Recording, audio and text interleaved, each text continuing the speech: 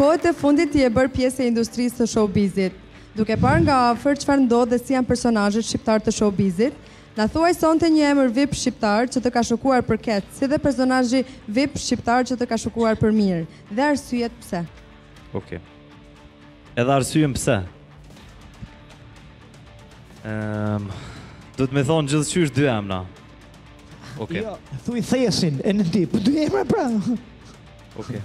Unë ma s'pari nuk kom pritshmëri as për mirë as për keq te as, te asnji koleg, tek e fundit kejt jena kolegë dhe jena njejt me njëri tjetrin s'do me thonë që i kena naj borxh njëri tjetrit që me pas ashtu pritshmëri po po e ceki rastin e fundit ku e kisha kuferin me rroba gati edhe isha tu prit me u nis për Dubai për xhirimin e videoklipit me Zunën. Kanga Habibi që po vjen dhe na anuloi n'moment fundit kishte ca probleme. Çaj Kush? kons Zuna.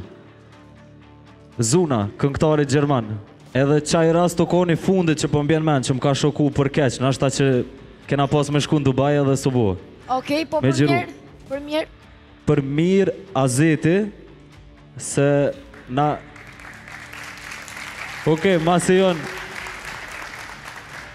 Masi jon edhe dyshe, zuna me azetin Për mirë Azeti se Kena rezervu bileta tjera për Tajlandë Në fillim të janorit, kështu që kena me bo atje Gjuet